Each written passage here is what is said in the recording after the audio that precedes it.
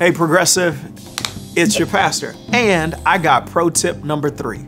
By now, you know that on Friday, July 7th, we're going to share Jesus now. Can y'all say that with me? Share Jesus now. How do we do it? Well, that's what I've been trying to help you to piece together. We talked about God's plan, and then we talked about the problem of humanity. And today, we're going to talk about God's remedy, and that is Jesus. We are broken, far from God, and we cannot fix ourselves.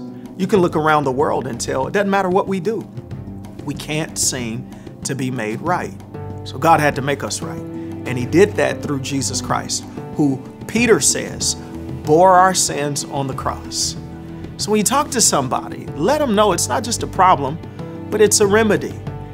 And when you angle the conversation, angle it as good news. In fact, you can tell them, Hey, I got good news. Would you like to hear it? They say, Yeah. He said, Well, if you were to die tonight, are you 100% sure that you're going to heaven? Oh, I don't know if I'm sure.